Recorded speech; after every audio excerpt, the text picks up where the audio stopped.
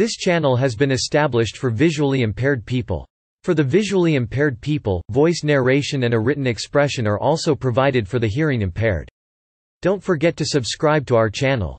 John Tyler March 29, 1790 to January 18, 1862 was the 10th President of the United States 1841–45 He was also, briefly, the 10th Vice President 1841, elected to that office on the 1840 Whig ticket with William Henry Harrison Tyler became President after Harrison's death in April 1841, only a month after the start of the new administration known to that point as a supporter of states' rights, which endeared him to his fellow Virginians. His actions as president showed that he was willing to back nationalist policies as long as they did not infringe on the powers of the states still, the circumstances of his unexpected rise to the presidency, and its threat to the presidential ambitions of Henry Clay and other politicians, left him estranged from both major parties a firm believer in manifest destiny. President Tyler sought to strengthen and preserve the Union through territorial expansion, most notably the annexation of the independent Republic of Texas in his last days in office Tyler, born to an eminent Virginia family, came to national prominence at a time of political upheaval in the 1820s the nation's only political party, the Democratic Republicans, split into factions though initially a Democrat, his opposition to Andrew Jackson and Martin Van Buren led him to ally with the Whig Party Tyler served as a Virginia state legislator, governor, U.S. representative, and U.S. senator before his election as vice president in the presidential election of 1840 he was put on the ticket to attract states' rights Southerners to what was then a Whig coalition to defeat Van Buren's re-election bid.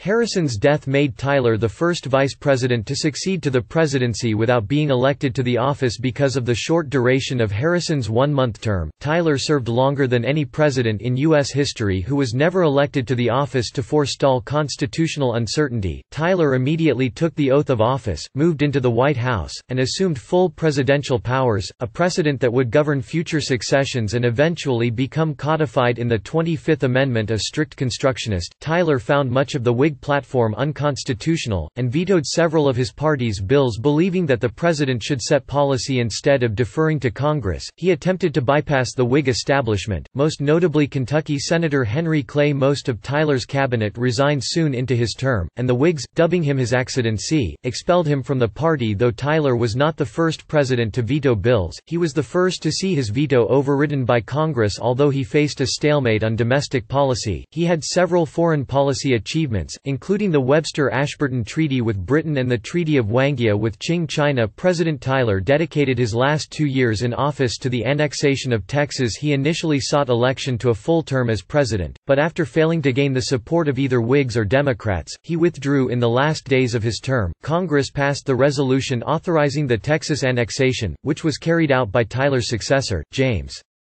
K. Polk When the American Civil War began in 1861, Tyler sided with the Confederate government, and won election to the Confederate House of Representatives shortly before his death although some have praised Tyler's political resolve, his presidency is generally held in low esteem by historians. Today he is considered an obscure president, with little presence in the American cultural memory Contents 1 Early life and law career 2 Political rise 21 Start in Virginia politics 22 War of 1812-23 3 US House of Representatives 24 Return to state politics 25 U.S. Senate 251 Democratic Maverick 252 Break with the Party 26 Presidential election, 1836–27 National political figure 3 Presidential election, 1840 31 adding Tyler to the ticket 32 General Election 4 Vice Presidency, 1841 5 Presidency 1841 1845 51 His Excellency 52 Economic Policy and Party Conflicts 521 Tariff and Distribution Debate 522 Impeachment Attempt 53 Administration and Cabinet 54 Foreign and Military Affairs 55 Judicial Appointments 56 Annexation of Texas 561 Early Attempts 562 USS Princeton Disaster 563 Ratification Issue 564-1844 Third Party Possibility 565 Annexation achieved six family and personal life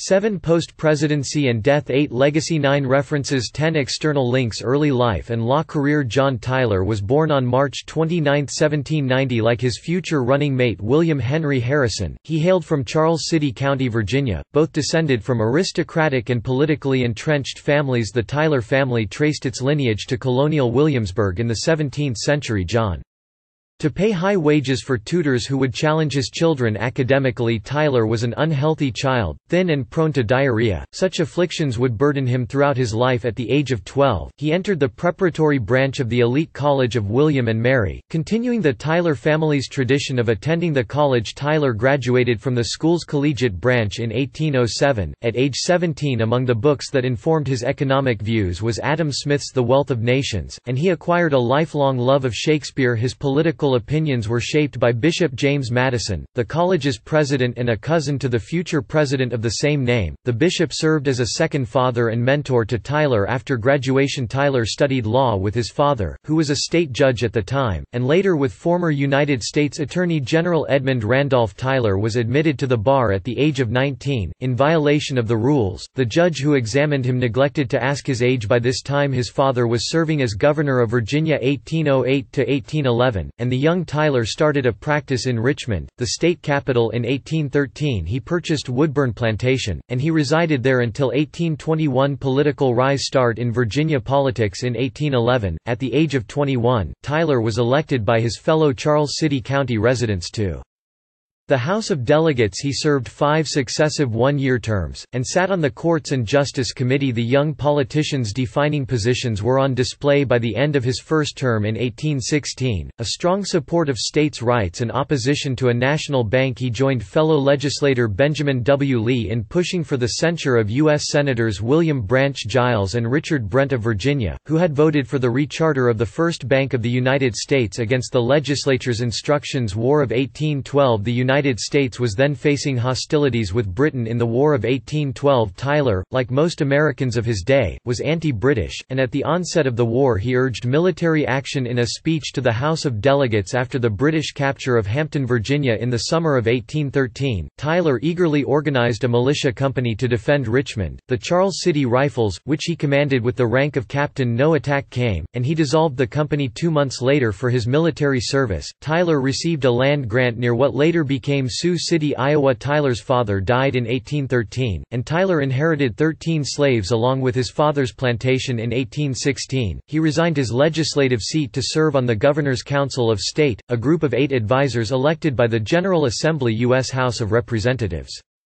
The death of U.S. Representative John Clopton in the fall of 1816 left a vacancy in the 23rd District Tyler sought the seat, as did his friend and political ally Andrew Stevenson as the two men did not differ politically. The race was a popularity contest Tyler's political connections and campaigning skills won him the election by a slim margin he was sworn in on December 17, 1816, to serve as a Democratic Republican, the major political party in the era of good feelings, in the 14th Congress while the Democratic Democratic Republicans had supported states' rights. In the wake of the War of 1812, many members urged a stronger central government. A majority in Congress wanted to see the federal government help to fund internal improvements such as ports and roadways. Tyler held fast to his strict constructionist beliefs, rejecting such proposals on both constitutional and personal grounds. He believed each state should construct necessary projects within its borders using locally generated funds. Virginia was not in so poor a condition as to require a charitable donation from Congress. He contended he was chosen to participate in an audit of the Second Bank of the United States in 1818 as part of a five-man committee, and was appalled by corruption he perceived within the bank he argued for the revocation of the bank charter. Although Congress rejected any such proposal his first clash with General Andrew Jackson followed Jackson's 1818 invasion of Florida during the First Seminole War while praising Jackson's character, Tyler condemned him as overzealous, and for the execution of two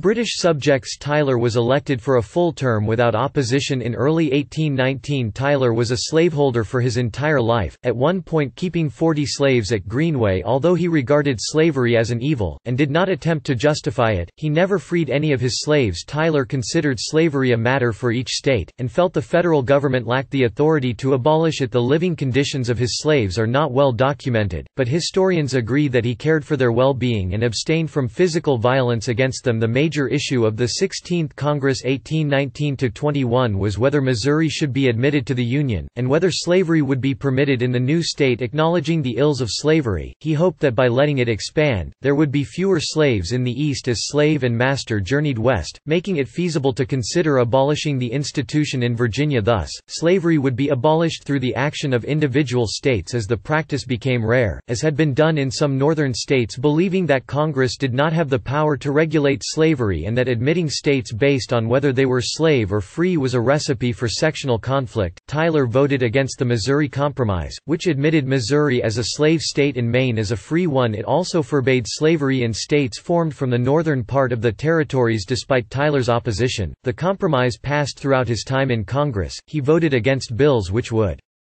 restrict slavery in the territories Tyler declined to seek renomination in late 1820. Citing ill health he privately acknowledged his dissatisfaction with the position, as his opposing votes were largely symbolic and did little to change the political culture in Washington. He also observed that funding his children's education would be difficult on a congressman's low salary he left office on March 3, 1821, endorsing his former opponent Stevenson for the seat, and returned to private law practice full-time return to state politics restless and bored after two years at home practicing law. Tyler sought election to the House of Delegates in 1823. Neither member from Charles City County was seeking re-election, and Tyler was elected easily that April, finishing first among the three candidates seeking the two seats upon taking his seat in December. He found the chamber thrust into debate over the impending presidential election of 1824. The Congressional Nominating Caucus, an early system for choosing presidential candidates, was still used despite its growing in popularity Tyler attempted to bring the lower house to endorse the caucus system and choose William H. Crawford as the Democratic-Republican candidate despite the legislature's support of Crawford. Opposition to the caucus system killed Tyler's proposal Tyler's most enduring effort in this second legislative tenure was saving the College of William and Mary, which suffered from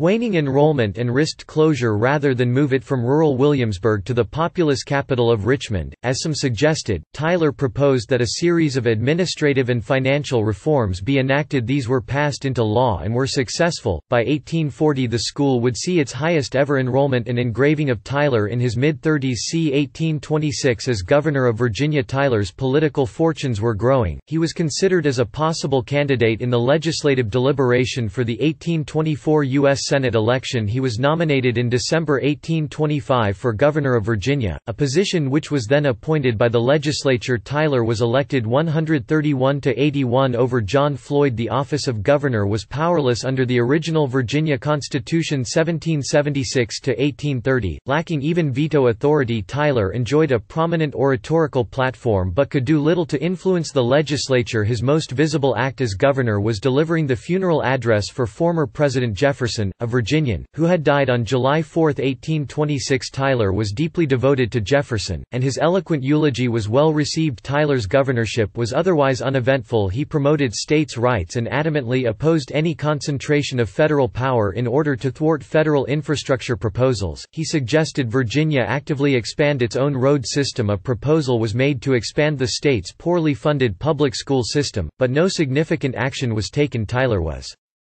Re-elected unanimously to a second one-year term in December 1826 U.S. Senate in January 1827, the General Assembly considered whether to elect U.S. Senator John Randolph for a full six-year term Randolph was a contentious figure, although he shared the staunch states' rights views held by most of the Virginia legislature, he had a reputation for fiery rhetoric and erratic behavior on the Senate floor, which put his allies in an awkward position furthermore, he had made enemies by fiercely opposing President John Quincy Quincy Adams and Kentucky Senator Henry Clay The nationalists of the Democratic-Republican Party, who supported Adams and Clay, were a sizable minority in the Virginia legislature. They hoped to unseat Randolph by capturing the vote of states' rights supporters who were uncomfortable with the senator's reputation. They approached Tyler, and promised their endorsement if he sought the seat. Tyler repeatedly declined the offer, endorsing Randolph as the best candidate, but the political pressure continued to mount. Eventually he conceded that he would accept the seat if chosen on the day of the vote It was argued by one assemblyman that there was no political difference between the two candidates. Tyler was simply a more agreeable character than Randolph. The incumbent's supporters, though, contended that Tyler's election would be a tacit endorsement of the Adams administration. The legislature selected Tyler in a vote of 115 to 110, and he resigned his governorship on March 4, 1827, as his Senate term began.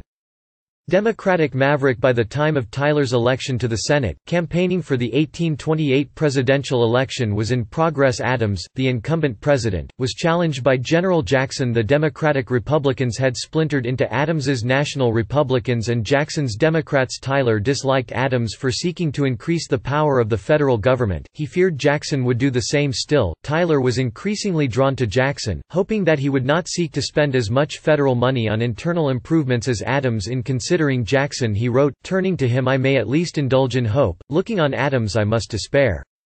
The first session of the 20th Congress began in early December 1827 Tyler served alongside his Virginia colleague and close friend Littleton Waller Tazewell, who shared his strict constructionist views and uneasy support of Jackson throughout his Senate service. Tyler vigorously opposed all bills which provided for national infrastructure projects, feeling these were matters for individual states to decide. He and his Southern colleagues unsuccessfully opposed the protectionist tariff of 1828, known to its detractors as the Tariff of Abomination nominations Tyler suggested that the tariff's only positive outcome would be a national political backlash, restoring a respect for states' rights Tyler remained a strong supporter of states' rights, stating they may strike the federal government out of existence.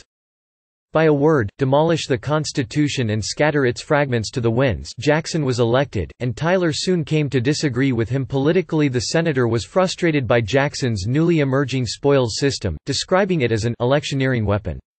He voted against many of the president's nominations when they appeared to be based on patronage or did not follow constitutional procedure opposing the nominations of a president of his own party was considered an act of insurgency against his party Tyler was particularly offended by Jackson's use of the recess appointment power to name three treaty commissioners to meet with emissaries from the Ottoman Empire. Tyler introduced a bill chastising the president for this Tyler attempted to remain on good terms with Jackson, only opposing him on principle rather than partisanship he defended Jackson for vetoing the Maysville Road funding project, which Jackson considered unconstitutional. He voted to confirm several of the president's appointments, including Jackson's future running mate Martin Van Buren as United States Minister to Britain. The leading issue in the 1832 presidential election was the recharter of the Second Bank of the United States, which both Tyler and Jackson opposed Congress voted to recharter the bank in July 1832, and Jackson vetoed the bill for a mixture of constitutional and practical reasons Tyler voted to sustain the veto and endorsed the president in his successful bid for re-election.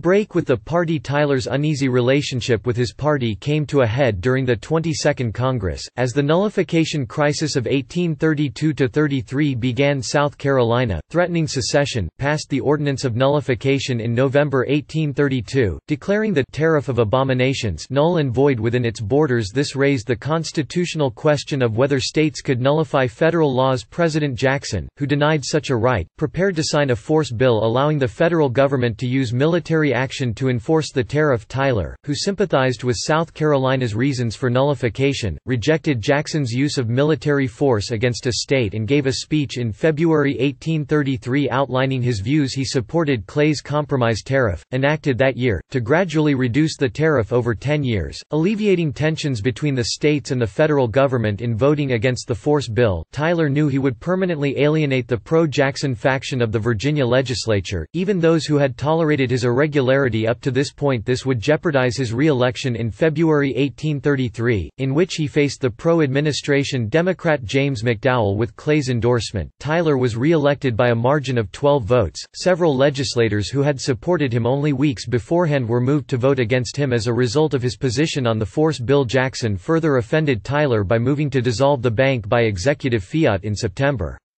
1833, Jackson issued an executive order directing Treasury Secretary Roger B. Taney to transfer federal funds from the bank to state-chartered banks without delay Tyler saw this as a flagrant assumption of power, a breach of contract, and a threat to the economy after months of agonizing. He decided to join with Jackson's opponents sitting on the Senate Finance Committee. He voted for two censure resolutions against the president in March 1834 by this time, Tyler had become affiliated with Clay's newly formed Whig Party, which held control of the Senate on March 3, 1835. With only hours remaining in the congressional session, the Whigs voted Tyler president pro tempore of the Senate as a symbolic gesture of approval. He is the only U.S. president to have held this office shortly thereafter. The Democrats took control of the Virginia House of Delegates. Tyler was offered a judgeship in exchange for resigning his seat, but he declined. Tyler understood what was to come. He would soon be forced by the legislature to cast a vote that went against his constitutional beliefs. Senator Thomas Hart Benton of Missouri had introduced a bill expunging the censure of Jackson by resolution of the Democratic-controlled legislature. Tyler could be instructed to vote for the bill if he disregarded the instructions, he would be violating his own principles. The first act of my political life was a censure on Messrs. Giles and Brent for opposition to instructions. He noted over the next few months he sought the counsel of his friends, who gave him conflicting advice by mid-February he felt that his Senate career was Likely at an end he issued a letter of resignation to the vice president, Van Buren, on February 29, 1836, saying in part, I shall carry with me into retirement the principles which I brought with me into public life, and by the surrender of the high station to which I was called by the voice of the people of Virginia, I shall set an example to my children which shall teach them to regard as nothing place and office, when either is to be attained or held at the sacrifice of honor presidential election, 1836 see also, United States President presidential election, 1836 While Tyler wished to attend to his private life and family, he was soon swept up in the presidential election of 1836 He had been suggested as a vice presidential candidate since early 1835, and the same day the Virginia Democrats issued the expunging instruction, the Virginia Whigs nominated him as their candidate. The new Whig Party was not organized enough to hold a national convention and name a single ticket against Van Buren, Jackson's chosen successor instead, Whigs in various regions each put forth their own preferred ticket, reflecting the party's tenuous coalition. The Massachusetts Whigs nominated Daniel Webster and Francis Granger, the anti-Masons of the northern and border states backed William Henry Harrison and Granger, and the states' rights advocates of the Middle and Lower South nominated Hugh Lawson White and John Tyler in Maryland. The Whig ticket was Harrison and Tyler and in South Carolina it was Willie P. Mangum for president and Tyler for vice president The Whigs wanted to deny Van Buren a majority in the Electoral College, throwing the election into the House of Representatives, where deals could be made Tyler hoped electors would be unable to elect a vice president, and that he would be one of the top two vote-getters, from whom the Senate, under the Twelfth Amendment, must choose following the custom of the times that candidates not appear to seek the office. Tyler stayed home throughout the campaign, and did not make speeches Tyler received only 47 elections electoral votes, from Georgia, South Carolina and Tennessee, in the November 1836 election, trailing both Granger and the Democratic candidate, Richard Mentor Johnson of Kentucky Harrison was the leading Whig candidate for president, but he lost to Van Buren. The presidential election was settled by the Electoral College, but for the only time in American history, the vice presidential election was decided by the Senate, which selected Johnson over Granger on the first ballot. National political figure Tyler had been drawn into Virginia politics even even as a U.S. Senator from October 1829 to January 1830, he served as a member of the State Constitutional Convention, a role which he had been reluctant to accept the original Virginia Constitution gave outsize influence to the state's more conservative eastern counties, as it allocated an equal number of legislators to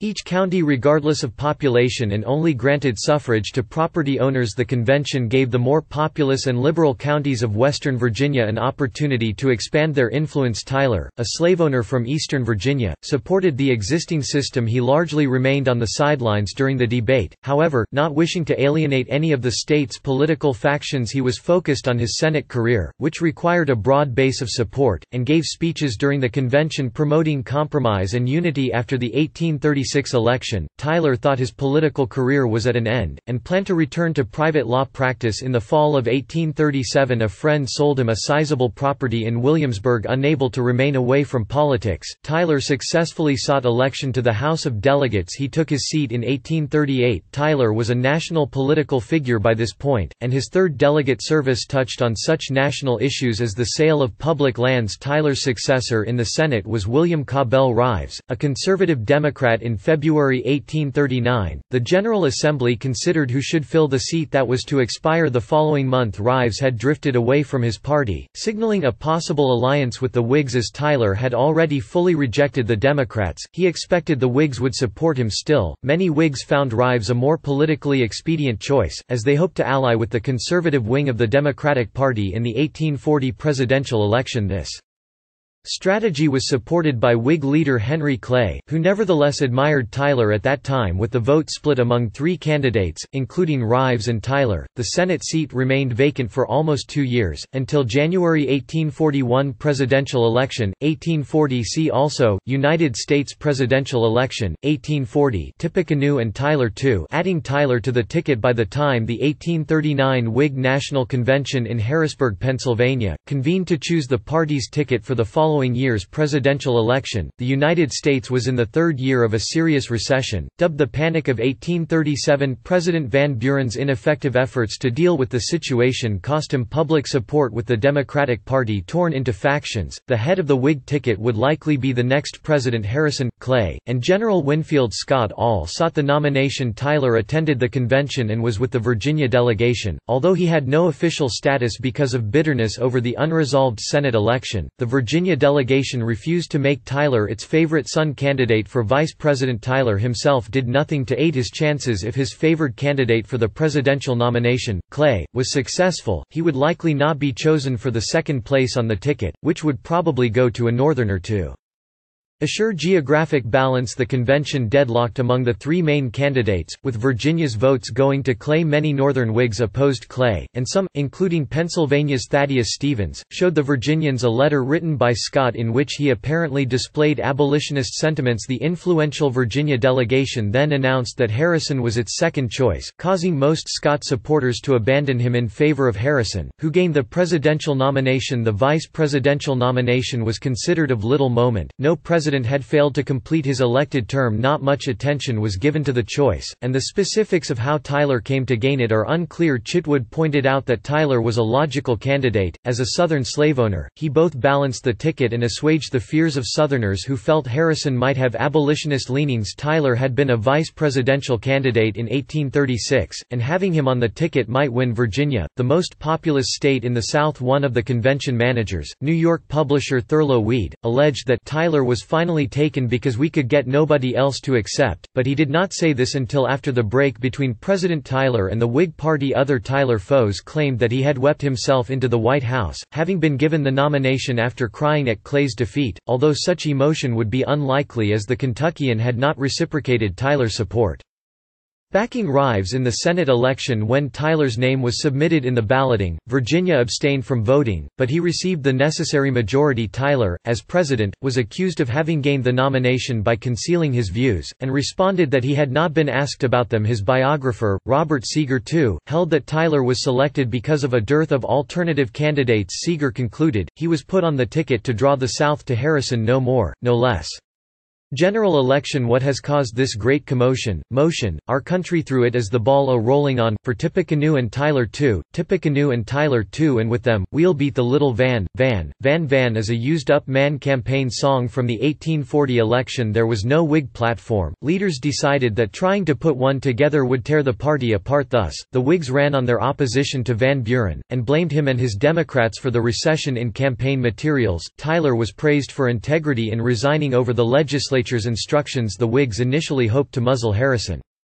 And Tyler, lest they make policy statements that alienated parts of the party but after Tyler's Democratic rival, Vice President Johnson, made a successful speaking tour, Tyler was called upon to travel from Williamsburg to Columbus, Ohio, and there address a local convention, a speech intended to assure Northerners that he shared Harrison's views in his journey of nearly two months. Tyler made speeches at rallies he could not avoid questions, and after being heckled into an admission that he supported the compromise tariff many Whigs did not, resorted to quoting from Harrison's vague speeches in his two-hour speech at Columbus. Tyler entirely avoided the issue of the Bank of the United States, one of the major questions of the day to win the election. Whig leaders decided they had to mobilize people across the country, including women, who could not then vote. This was the first time that an American political party included women in campaign activities on a widespread scale, and women in Tyler's Virginia were active on his behalf. The party hoped to avoid issues and win through public enthusiasm, with torchlight processions and alcohol-fueled political rallies the interest in the campaign was unprecedented, with many public events when the Democratic press depicted Harrison as an old soldier, who would turn aside from his campaign if given a barrel of hard cider to drink in his log cabin. The Whigs eagerly seized on the image, and the log cabin campaign was born the facts that Harrison lived on a palatial estate along the Ohio River and Tyler was well-to-do were not publicized, but log cabin images appeared everywhere, from banners to whiskey bottles. Cider was the favored beverage of many farmers and tradesmen, and Whigs claimed that Harrison preferred that drink of the common man. Democrats complained that the Harrison-Tyler campaign's liberal provision of hard cider at rallies was encouraging drunkenness. The presidential candidate's military service was emphasized, thus the campaign jingle, Tippecanoe and Tyler too, referring to Harrison's victory at the Battle of Tippecanoe. The slogan remains well well-known today glee clubs sprouted all over the country, singing patriotic and inspirational songs. One Democratic editor stated that he found the songfests in support of the Whig Party to be unforgettable among the lyrics sung were We shall vote for Tyler therefore, without a why or wherefore. Louis Hatch, in his History of the Vice Presidency, noted, the Whigs roared, sang, and hard-cidered the hero of Tippecanoe into the White House Clay, though embittered by another of his many defeats for the presidency, was appeased by Tyler's withdrawal from the still unresolved Senate Race, which would permit the election of Rives, and campaigned in Virginia for the Harrison-Tyler ticket Tyler predicted the Whigs would easily take Virginia. He was embarrassed when he was proved wrong, but was consoled by an overall victory. Harrison and Tyler won by an electoral vote of 234 to 60 and with 53. Percent of the popular vote Van Buren took only seven scattered states out of 26 The Whigs gained control of both houses of Congress vice presidency, 1841 as vice president-elect, Tyler remained quietly at his home in Williamsburg. He privately expressed hopes that Harrison would prove decisive and not allow intrigue in the cabinet, especially in the first days of the administration. Tyler did not participate in selecting the cabinet, and did not recommend anyone for federal office in the new Whig administration. Harrison, beset by office seekers and the demands of Senator Clay, twice sent letters to Tyler asking his advice as to whether a Van Buren appointee should be dismissed in both cases. Tyler recommended against. Harrison accordingly stated, Mr. Tyler says they ought not to be removed, and I will not remove them.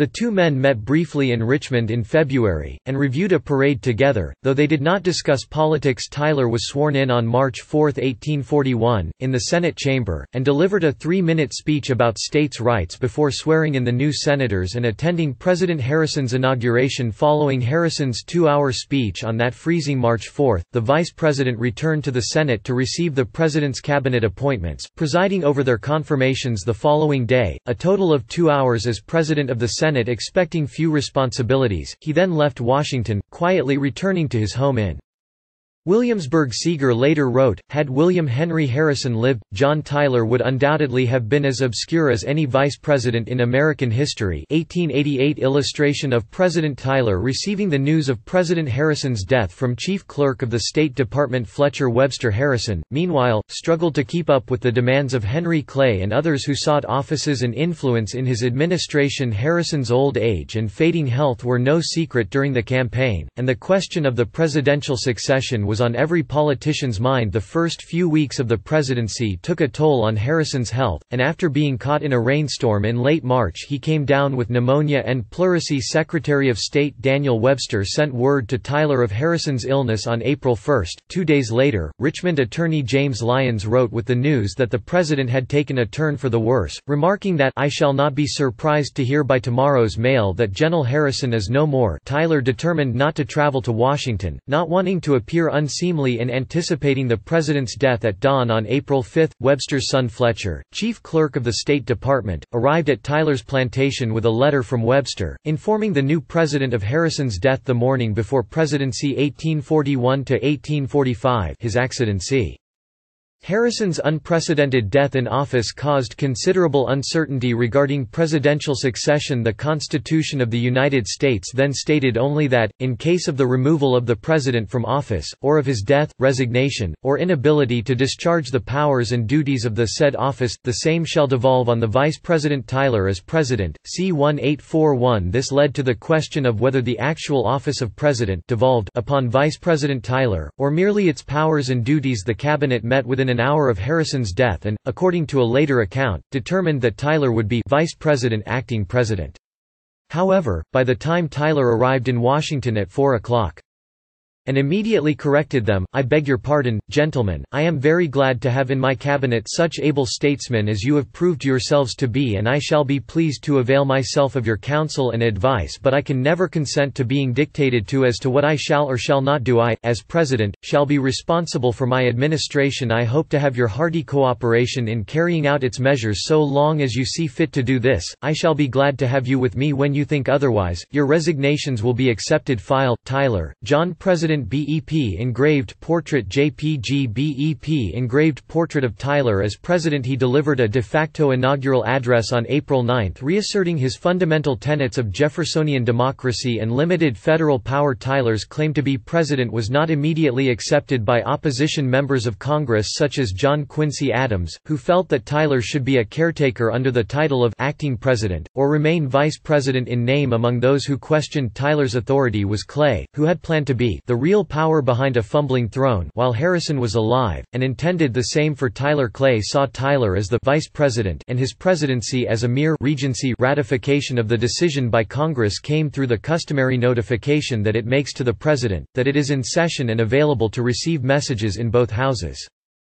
Unsuccessful amendments were offered to strike the word «president» in favor of language including the term «vice president» to refer to Tyler Mississippi Senator Robert J. Walker, in opposition, stated that the idea that Tyler was still vice president and could preside over the Senate was absurd Tyler's opponents never fully accepted him as president he was referred to by many mocking nicknames, including his accidency. However, Tyler never wavered from his conviction that he was the rightful president. When his political opponents sent correspondence to the White House addressed to the vice president or acting president, Tyler had it returned unopened economic policy and party conflicts. Harrison had been expected to adhere closely to Whig party policies and to defer to party congressional leaders, particularly Clay. When Tyler succeeded him, he at first was in accord with the new Whig Congress in signing into law such measures as a preemption bill granting squatters sovereignty to settlers on public land, a Distribution Act discussed below, a new bankruptcy law, and the repeal of the independent treasury enacted under Van Buren. But when it came to the great banking question, Tyler was soon at odds with the congressional Whigs. Twice he vetoed Clay's legislation for a National Banking Act although the second bill supposedly had been tailored to meet his stated objections in the first veto, its final version did not this practice, designed to protect Clay from having a successful incumbent president as a rival for the Whig nomination in 1844, became known as heading Captain Tyler, a term coined by Whig Representative John Minor Botts of Virginia Tyler proposed an alternative fiscal plan to be known as the Exchequer, but Clay's friends, who controlled the Congress, would have none of it on September 11, 1841. Following the second bank veto, members of the cabinet entered Tyler's office one by one and resigned, an orchestration by Clay to force Tyler Tyler's resignation and place his own lieutenant, Senate President pro tempore Samuel L. Southard. In the White House the only exception was Webster, who remained to finalize what became the 1842 Webster-Ashburton Treaty, and to demonstrate his independence from Clay when told by Webster that he was willing to stay. Tyler is reported to have said, Give me your hand on that, and now I will say to you that Henry Clay is a doomed man. On September 13, when the president did not resign or give in, the Whigs in Congress expelled Tyler from the party. Tyler was lambasted by Whig newspapers and received hundreds of letters threatening his assassination. Whigs in Congress were so angry with Tyler that they refused to allocate funds to fix the White House, which had fallen into disrepair. Tariff and distribution debate by mid 1841, the federal government faced a projected budget deficit of $11 million. Tyler recognized the need for higher tariffs, but wished to stay within the 20% rate created by the 1833 Compromise Tariff. He also supported a plan to distribute to the states any revenue from the sales of public land, as an emergency measure to manage the state's growing debt, even though this would cut federal revenue. The Whigs supported high protectionist tariffs and national funding of state infrastructure, and so there was enough overlap to forge a compromise. The Distribution Act of 1841 created a distribution program, with a ceiling on tariffs tariffs at 20%. A second bill increased tariffs to that figure on previously low tax goods despite these measures. By March 1842, it had become clear that the federal government was still in dire fiscal straits. Whig cartoon depicting the effects of unemployment on a family that has Jackson's and Van Buren's portraits on the wall. The root of the trouble was an economic crisis, initiated by the Panic of 1837, which was entering its sixth year in 1842. A speculative bubble had burst in 1836 39 causing a collapse of the financial sector and a subsequent depression the country became deeply divided over the best response to the crisis. Almost all of President Tyler's cabinet had resigned in September 1841, after he vetoed two successive attempts to re-establish a central bank for the United States. Conditions got even worse in early 1842 because a deadline was looming a decade earlier, when the economy was strong, Congress had promised southern states that there would be a Reduction in hated federal tariffs Northern states welcomed tariffs, which protected their infant industries but the South had no industrial base and depended on open access to British markets for their cotton in a recommendation to Congress. Tyler lamented that it would be necessary to override the Compromise Tariff of 1833 and raise rates beyond the 20% limit under the previous deal. This would suspend the distribution program, with all revenues going to the federal government. The defiant Whig Congress would not raise tariffs in a way that would affect the distribution distribution of funds to states in June 1842 they passed two bills that would raise tariffs and unconditionally extend the distribution program believing it improper to continue distribution at a time when federal revenue shortage necessitated increasing the tariff. Tyler vetoed both bills, burning any remaining bridges between himself and the Whigs Congress tried again, combining the two into one bill. Tyler vetoed it again, to the outrage of many in Congress, who nevertheless failed to override the veto as some action was necessary. Whigs in Congress passed in each house by one vote, a bill restoring tariffs to 1832 levels and ending the distribution program Tyler signed the Tariff of 1842 on August 30, pocket vetoing a separate bill to restore distribution impeachment attempt shortly after the tariff vetoes. Whigs in the House of Representatives initiated American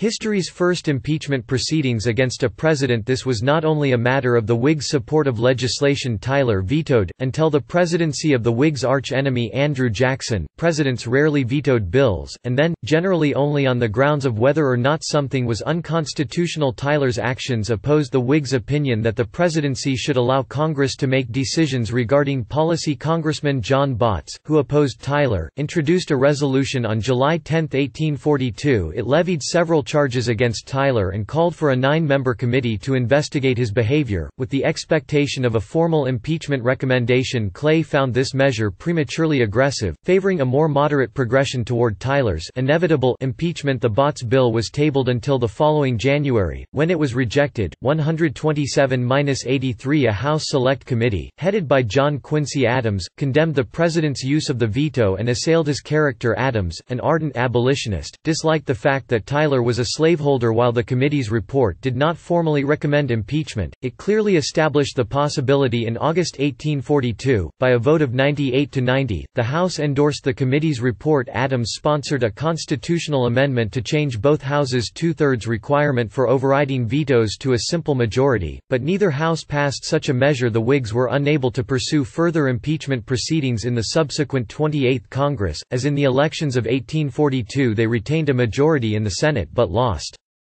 Control of the House near the end of Tyler's term in office. On March 3, 1845, Congress overrode his veto of a minor bill relating to revenue cutters. This was the first overriding of any presidential veto in U.S. history. Administration and Cabinet The Tyler Cabinet Office Name Term President John Tyler 1841–1845 Vice President None 1841–1845 Secretary of State Daniel Webster W. 1841–1843 Abel P. Upshur W. 1843–1844 John C. Calhoun D. 1844–1845 Secretary of Treasury Thomas Ewing Sr. W. 1841 Walter Forward W. 1841–1843 John C. Spencer W. 1843–1844 George M. Bibb D. 1844–1845 Secretary of War John Bell W. 1841 John C. Spencer W. 1841–1843 James M. Porter W. 1843–1844 William Wilkins D. 1844–1845 Attorney General John J. Crittenden W. 1841 Hugh S. Legare D. 1841–1843 John Nelson W. 1843–1845 Postmaster General Francis Granger W. 1841 Charles A. Wickliffe W. 1841–1845 Secretary of the Navy George E. Badger W. 1841 Abel P. Upshur W. 1841–1843 David Henshaw D. 1843–1844 Thomas W. Gilmer D. 1844 John Y. Mason D. 1844–1845 The battles between Tyler and the Whigs in Congress resulted in a number of his nominees being rejected he received little support from Democrats and, without much support from either major party in Congress, a number of his nominations were rejected without regard for the qualifications of the nominee to reject a president's nominees for his cabinet was unprecedented, though in 1809, James Madison had withheld the nomination of Treasury Secretary Albert Gallatin as Secretary of State because of opposition in the Senate. A cabinet nominee would not fail of confirmation, after Tyler's term, until Henry Stanbery's nomination as Attorney General was rejected by the Senate in 1868 four of Tyler's cabinet nominees were rejected, the most of any president. These were Caleb Cushing Treasury, David Henshaw Navy James Porter War, and James S. Green Treasury Henshaw and Porter served as recess appointees before their rejections Tyler repeatedly renominated Cushing, who was rejected three times in one day, March 3, 1843, the last day of the 27th Congress Foreign and Military Affairs. Tyler's difficulties in domestic policy contrasted with notable accomplishments in foreign policy. He had long been an advocate of expansionism toward the Pacific and free trade, and was fond of evoking themes of national destiny and the spread of liberty in support of these policies. His policies were largely in line with Jackson's earlier efforts to promote American commerce across the Pacific eager to compete with Great Britain in international markets. He sent lawyer Caleb Cushing to China, where he negotiated the terms of the Treaty of Wangxia 1844 the same year. He sent Henry Wheaton as a minister to Berlin, where he negotiated and signed a trade agreement with the Zollverein, a coalition of German states that managed tariffs. This treaty was rejected by the Whigs, mainly as a show of hostility toward the Tyler administration in an 1840 1942 special message to Congress, the President also applied the Monroe Doctrine to Hawaii dubbed the Tyler Doctrine, told Britain not to interfere there, and began a process that led to the eventual annexation of Hawaii by the United States in 1842 Secretary of State Daniel Webster negotiated with Britain the Webster-Ashburton Treaty, which concluded where the border between Maine and Canada lay. That issue had caused tension between the United States and Britain for decades and had brought the two countries to the brink of war on several occasions. The treaty improved Anglo-American diplomatic relations however, Tyler was unsuccessful in concluding a treaty with the British to fix the boundaries of Oregon on Tyler's last full day in office, March 3, 1845. Florida was admitted to the Union as the 27th state. Tyler advocated an increase in military strength his administration drew praise from naval leaders, who saw a marked increase in warships. Tyler brought the long, bloody Second Seminole War to an end in 1842, and expressed interest in the forced cultural assimilation of the Native Americans. He also advocated the establishment of a chain of American forts from Council Bluffs, Iowa, to the Pacific in May 1842. When the Dorr Rebellion in Rhode Island came to a head, Tyler pondered the request of the governor and legislature to send federal troops to help it suppress the Dorrite insurgents the insurgents under Thomas Dorr had armed themselves and proposed to install a new state constitution before such acts. Rhode Island had been following the same constitutional structure that was established in 1663. Tyler called for calm on both sides, and recommended that the governor enlarge the franchise to let most men vote. Tyler promised that in case an actual insurrection should break out in Rhode Island, he would employ force to aid the regular